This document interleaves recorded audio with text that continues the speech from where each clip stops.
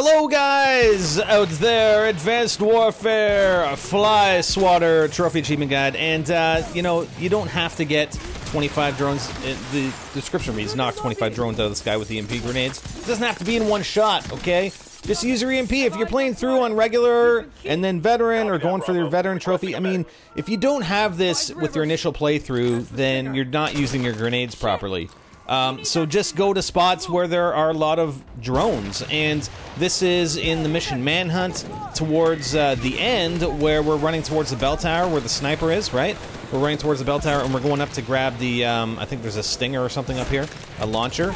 Well, we get a bunch of drones that pop up here. See all the drones right there? So you can just rerun this section if you really want.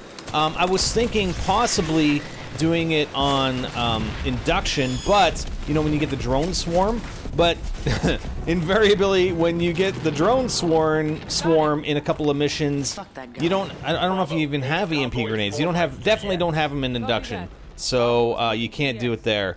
Anyways, that's a good spot. But like I said, if you don't have it yet and you're planning on going through on veteran or whatever, then just make sure that you're using your EMPs anytime that you see drones, and you'll eventually get it. It's not that difficult. But that's that's obviously a, a, not a bad spot, especially if you're doing threat detected as well, then you can try doing both of them at the same time. All right, in the same mission, same playthrough, the same mission.